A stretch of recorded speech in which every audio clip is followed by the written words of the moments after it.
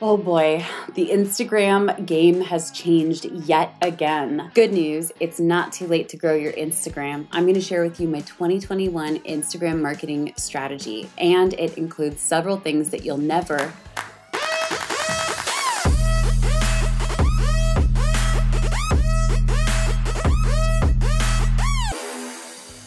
Hey guys, my name is Rachel Pedersen. I'm a social media strategist, and I'm excited to share with you guys my 2021 marketing strategy for Instagram. Now, we have had some serious success on Instagram.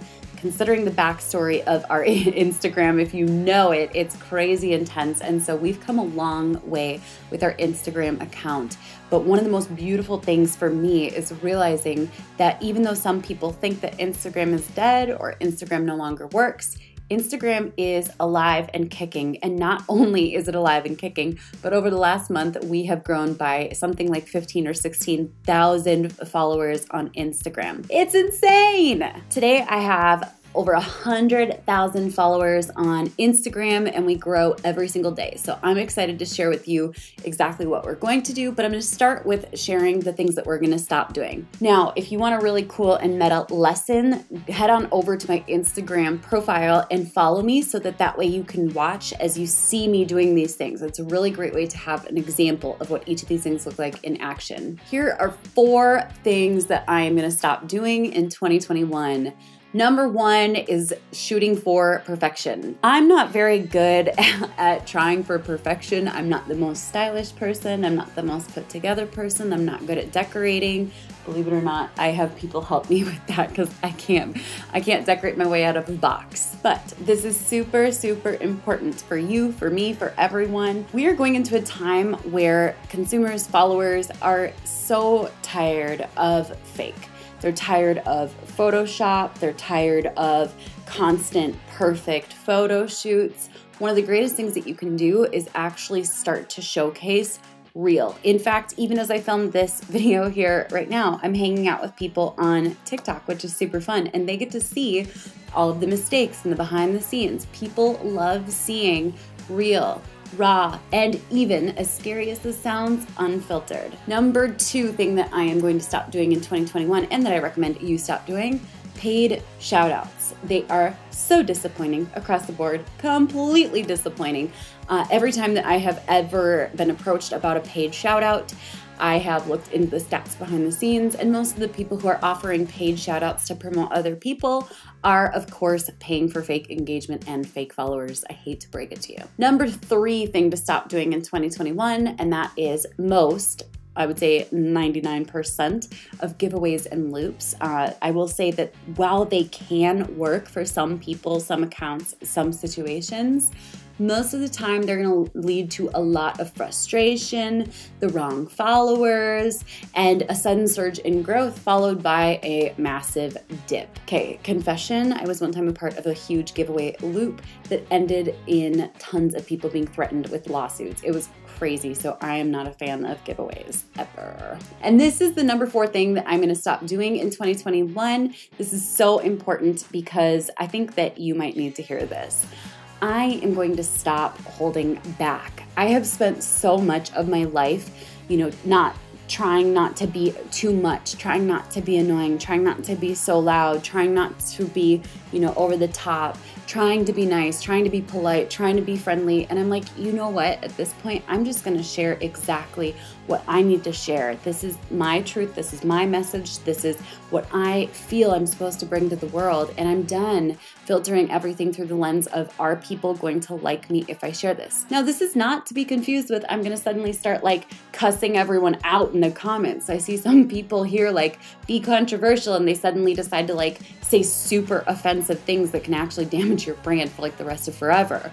The truth is, when you stop holding back and start just being you, you don't have to try to be controversial. You can just be yourself, and that naturally is going to be controversial. Let me just tell you, people have problems with things I say all the time just for being exactly who I am. But I'm done letting that hold me back, and I recommend that you do too. By the way, if just hearing these four things that you have to stop doing in 2021 to grow massively on Instagram, comment below and let me know which of those four is the most impactful for you. Now, before we talk about the things that you want to start doing in 2021, the things that I'm going to do as a part of my Instagram marketing strategy, this is really, really important. This video is for people who want to aggressively grow. That means aggressively grow in following, aggressively grow in engagement, viewership, overall reach, and most importantly, sales and or monetization on the back end of your account. This is not for people who already are stretched thin and saying, what else do I need to do? I'm exhausted, okay? So the things I share are gonna be intense because this is specifically if you wanna use Instagram as a prominent part of your marketing strategy for your brand or your business. Got it? Do you agree? Cross your heart. I don't want anyone complaining in the comments below. All right, let's dive on in. Number one, stories. So here's the crazy thing that I find absolutely fascinating. Besides posting content or posts or reels on Instagram, there is one way to make sure that no matter what happens, you are at the very top of everyone's feeds all the time. Can you guess what it might be? Maybe you guessed it, maybe you didn't. Instagram stories. The beautiful thing about Instagram stories is you can continually bring yourself back up to the top of everyone's feed, meaning your face, your name, your handle, your uh, profile for them to click through to is always there and available simply by posting more stories. Now, a lot of people think, oh my gosh, but isn't that going to be so annoying? Um, here's the thing if people love you and enjoy you and or are following you they want what you have to put out there. They're nosy. Every human is nosy. People want the behind the scenes. They want to know more about you and the brand and the team that you work with and the products and the, and the making of and how people use it and right? And even better, if you bring them in on decision making processes in your stories, people go crazy for it because everyone loves to share their two cents. Let me just tell you, everyone loves to share their two cents. I recommend bumping up your Instagram stories. Uh, to whatever you're doing times two. If that's not very much, I highly recommend getting to a place where you're putting up one to 10 Instagram stories per day.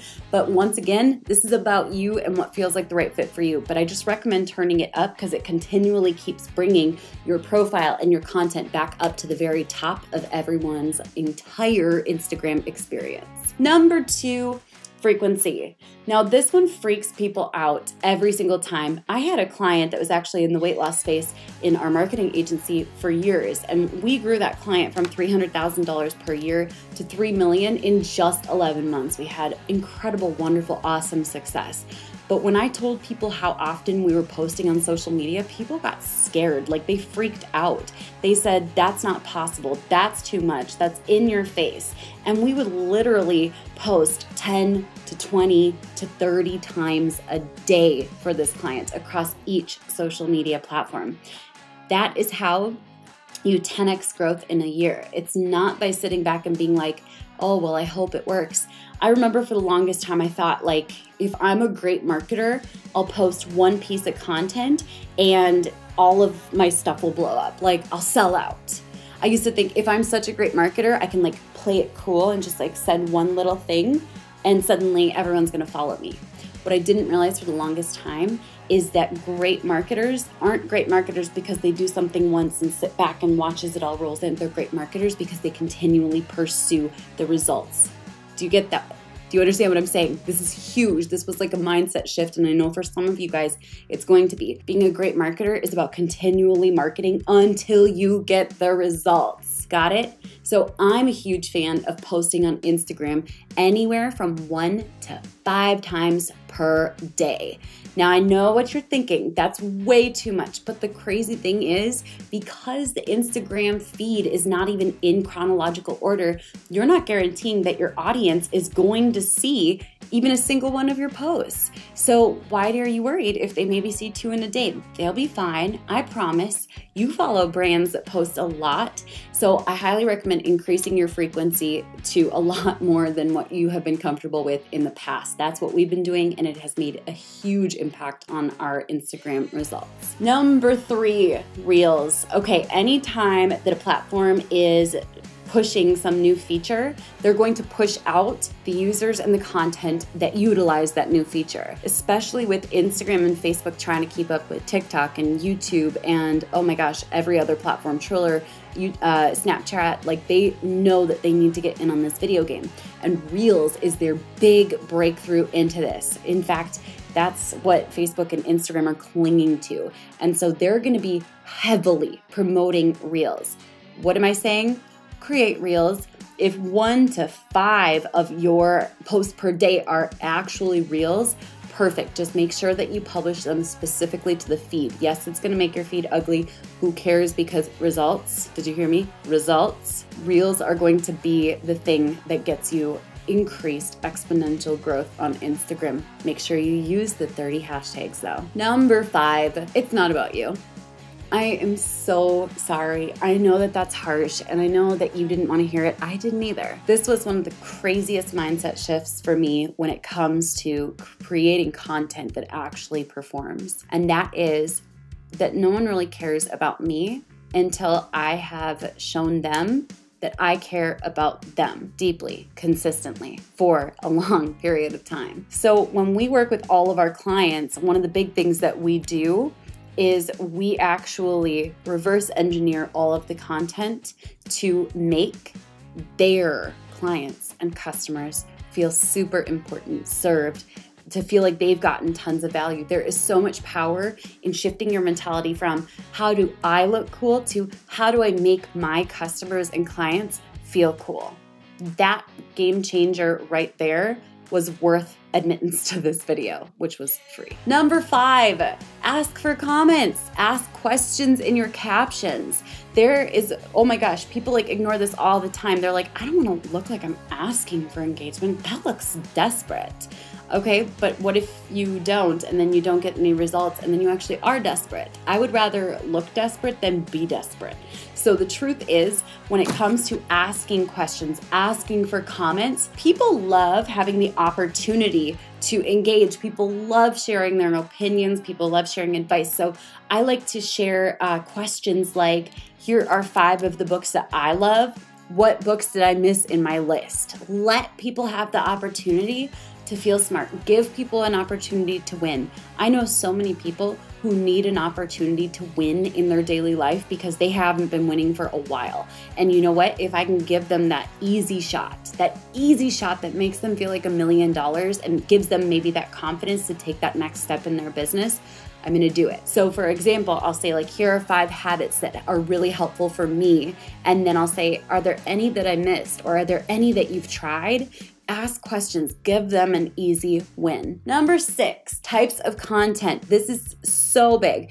As I said at the beginning, it's not about professional photo shoots and tons of Photoshop and perfect everything. I want you to shift your mentality and recognize that the best content is going to be the kind where someone says, I would send that to my best friend. Or, you know, I actually shared this on my story. Make it incredibly shareable, taggable, sendable, pinnable. Like, make your content an easy yes to sharing. And one of the best ways to do that is to change up the type of content that you're using on Instagram. For us, that looked like listicles, advice, value.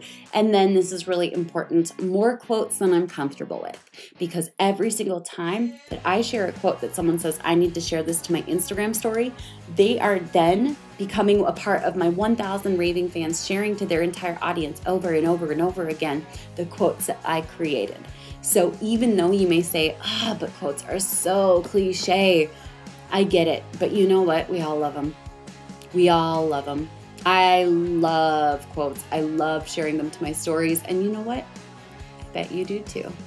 So give people the easy yes to sharing quotes and content to their stories. Now, I could go all day. We could dive into uh, outbound engagement, the times of sharing. We could go into some extra strategies for growth hacking. I want to know is there anything else that I missed in this video that you want to learn about? Go ahead and ask me in the comments. I love reading your guys' comments. Uh, I'm not able to respond to all of them, but I love reading them, coming up with new ideas for content. I want to serve you. Oh, by the way, check out in the bio beneath this video, I put together 300 plus content ideas for Instagram Reels totally free. Go ahead and grab it. It's in the bio. Just scroll down a little bit in that bio. If you've enjoyed this video, comment below and let me know which of these tips you are going to utilize in 2021. Did you follow me on Instagram? Let me know and send me a message on IG. You never know, I might reply. Be sure to subscribe to my channel, like this video. I will catch you guys later. Bye for now.